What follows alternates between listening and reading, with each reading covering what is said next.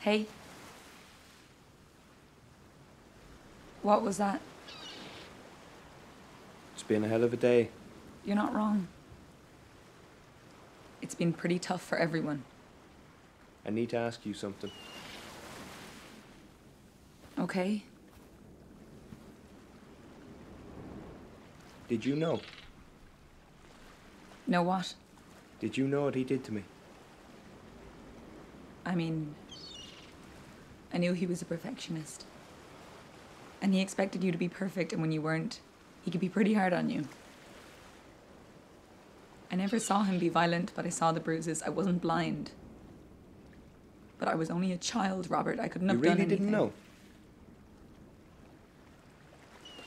He abused me. He was a violent man. You raped me, Kat. From the time I was 10 years old until I was 15, he abused me every chance he got. Why are you doing this today? Because he's dead.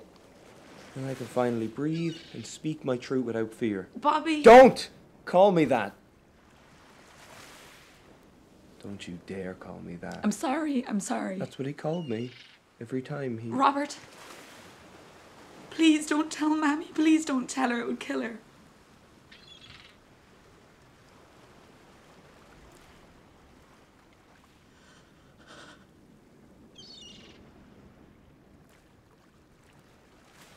She walked in us once.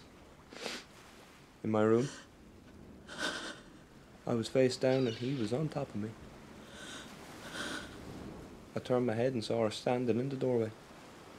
The look on her face, I thought, finally, finally. She just backed away and closed the door behind her. Never mentioned it again. Robert! I'm leaving. We're going to Australia. Quiva has friends there. When? Next month. I would have booked it sooner, but she wanted to say a proper goodbye to her family. You'll send me your address? I never want to see, hear, or speak to you ever again.